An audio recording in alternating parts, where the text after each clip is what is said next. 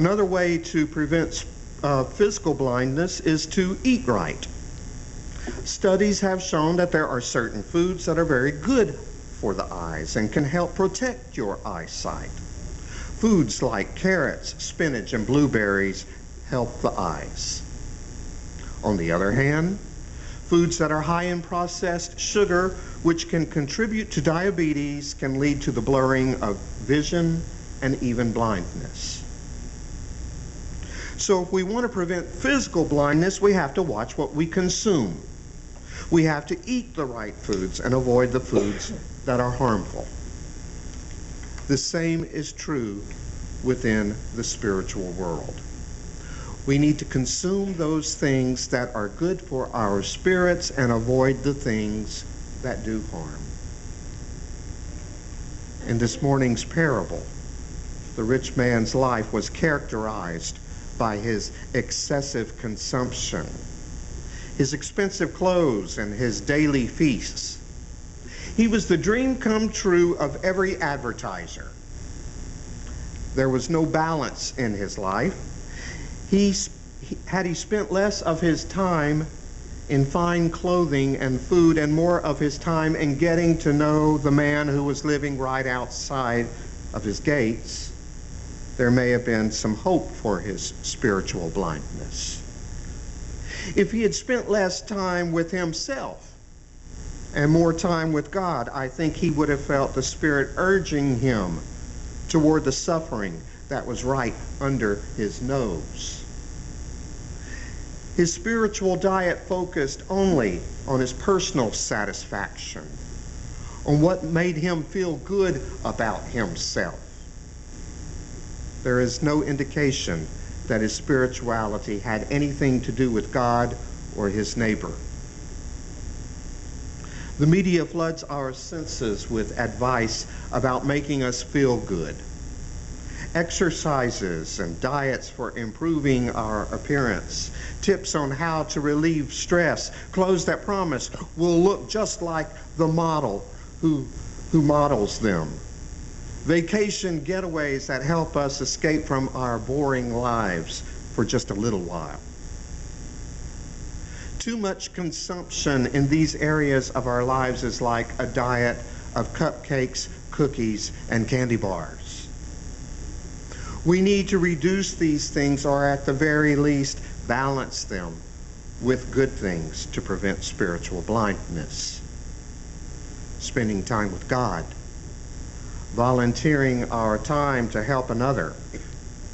These are the things that will prevent spiritual blindness. Loving God with all our heart and all our soul and all of our mind, and loving our neighbor as ourselves. If our diet includes more loving others and less self satisfaction, then we have hope for avoiding spiritual blindness. The final thing that we should do to avoid physical blindness is to get a checkup.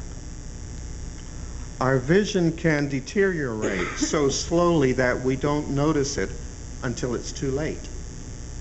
Early detection of weakening eyesight can help prevent serious problems in the future.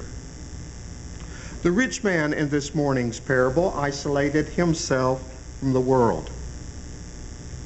He lived his life behind a wall. I wonder that he may have been able to avoid his problems had he been more connected with people who cared about his spiritual welfare, with people who tried to improve their own spiritual welfare.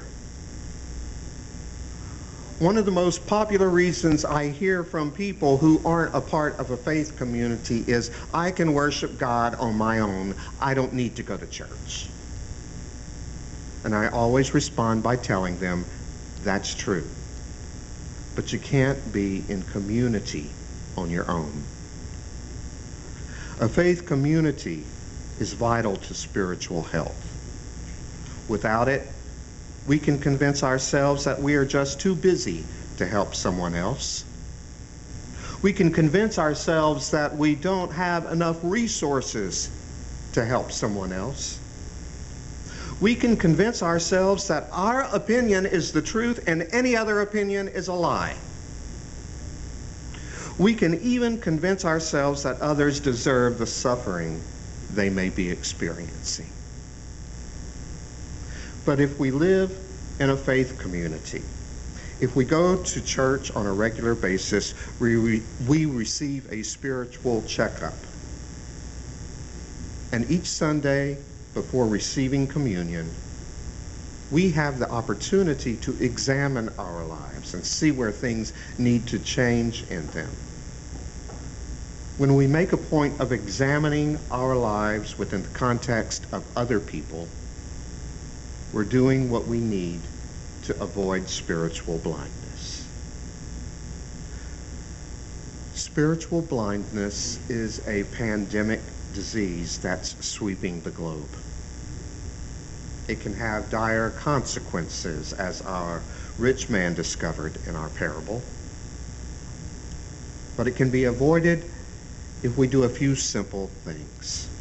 I've talked about some of those things this morning. Now it's up to each of us to put those things into place within our own lives. Amen.